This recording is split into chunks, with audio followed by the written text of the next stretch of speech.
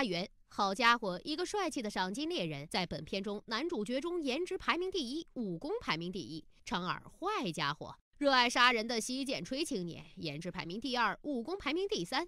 老九，怪家伙，一个视钱如命的怪盗，颜值排名第三，武功排名第二。三位男主角都是朝鲜人，在中国东北混饭吃。为什么会有三个人高马大的逗逼在荒漠中站成一个圈，互相打手枪呢？这部电影给出了答案。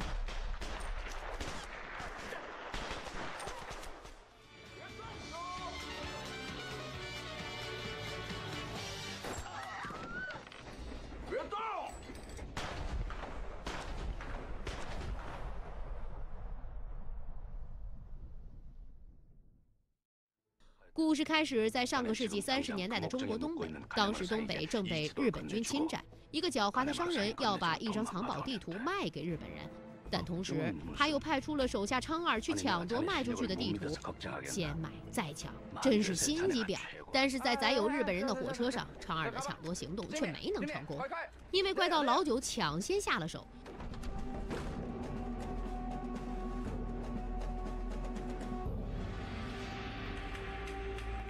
而与此同时，受雇于朝鲜独立军的阿元也前来争夺地图。昌二和阿元展开了枪战，但双方都没有占到便宜，反而是老九先逃跑了。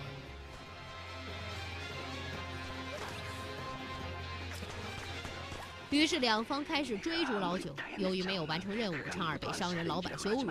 自尊心强的昌二于是干掉了老板，夺取了老板的金钱，取代了老板的位置。这才叫真正的逆袭。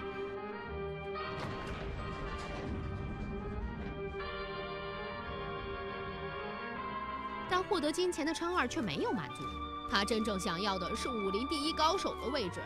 另外，他曾经被一个外号叫“手指鬼怪”的人教训过，砍掉了他一根手指，而手指鬼怪正是老九。老九在被昌二追捕过程中，把地图转给了奶奶，但是很快地图又被老九的小伙伴拿走。倒霉的老九虽然躲过昌二的追捕，但是没有躲过阿元的。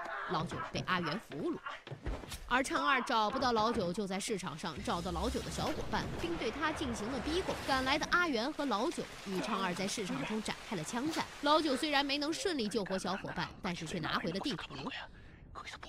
老九和阿元在枪战中产生了革命友谊，决定一起去寻宝。一路上，老九得知阿元误以为昌二是手指鬼怪，并打算捉拿昌二，于是老九趁着阿元熟睡，带着地图跑了。而同时，东北的一队马贼也在追寻宝藏，日本的军队也闻讯而来。于是，很快就有了荒漠上一群人追着老九跑的一幕。结果到目的地的时候，只剩下老九、阿元、昌二三人。此时，眼前的景象让他们吃了一惊。原来这并不是什么藏宝地图，而是一张石油地图。不缺钱的昌二这时候才说出他的目的：他要成为最强的人，要 PK 干掉老九和阿元。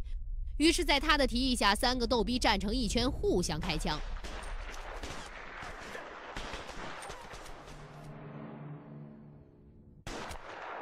结果很显然，武力最不济的昌二死了，武力第二强的老九因为使用避弹衣活了下来。武力第一强的阿元被赶来的小伙伴救走。关注微信“快看电影”订阅号，输入电影名称就能看到完整版了。